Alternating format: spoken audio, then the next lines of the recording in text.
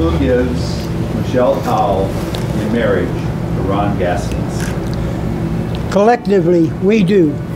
I, Larry Powell, her father, Chuck LaFi, her stepfather, and Glenda LaFi, her mother, do cheerfully and happily, with no reservations, give to this young man our beautiful daughter.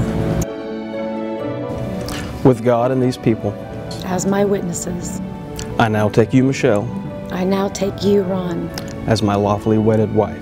as my lawfully wedded husband, I vow my total love and faithfulness to you and you alone as long as we both shall live.